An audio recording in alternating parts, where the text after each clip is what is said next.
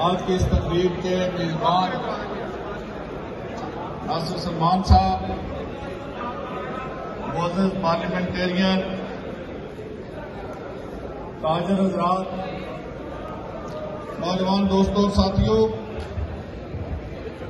मैं सबसे पहले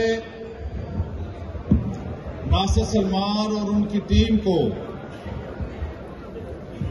सराज तहसीन पेश करना चाहूँगा। उन्होंने शबाना रोज मेहनत करके ताजरों के अंदर एक तहरुक पैदा किया और बेदारी की एक लहर पैदा की। हम पिछले 15-20 साल से